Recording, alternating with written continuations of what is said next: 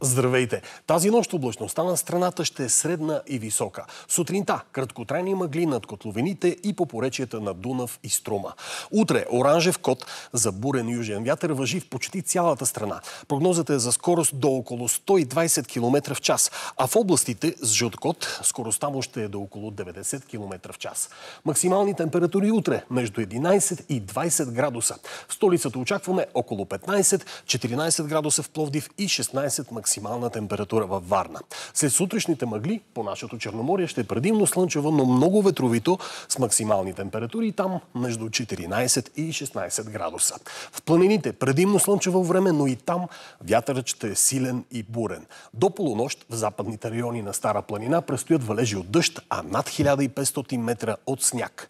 Максимални температури утре в планините предимно между 6 и 12 градуса. През нощта срещу четвъртък бързо понижение на температурите. Дъждът в предбалкана и високите полета в западна България очакваме да премине в сняг. До сутринта дъждове над останалата част от страната.